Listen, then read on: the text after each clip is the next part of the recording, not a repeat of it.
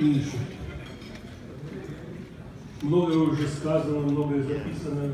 Вы увидите записанное на фильм очень многие высказывания людей, которые близко общались с ним.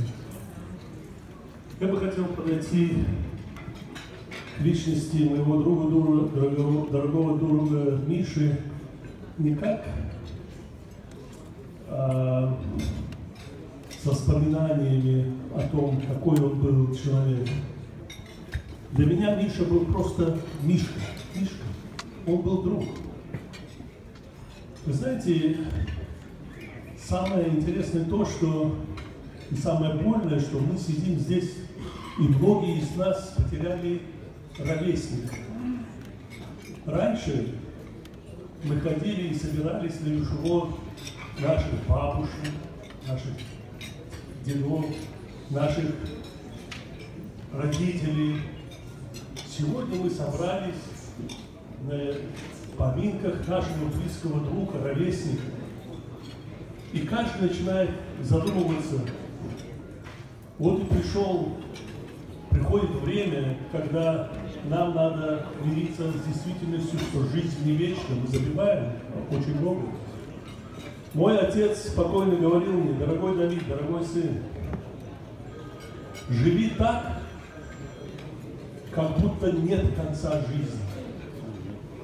Живи и наслаждайся жизнью. Но всегда помни, что любой день может быть твоим последним. Вы знаете, я бы хотел посмотреть на жизнь Миши, на жизнь наших бухарских евреев через призму жизни дорогого Миши. Он родился в послевоенный период, когда его отец, прошедший войну, приехал, и после двух дочерей у него родились сначала Раби, потом Миша, потом Али, потом Гриша, потом Жорик. Миша был уникальный среди всех. Тем, что он был человеком, который имел, как говорят по-английски, vision. После того, как он женился, уже имел двух детей, он видел, что продолжать жизнь в Советском Союзе невозможно. Он восстал, он стал.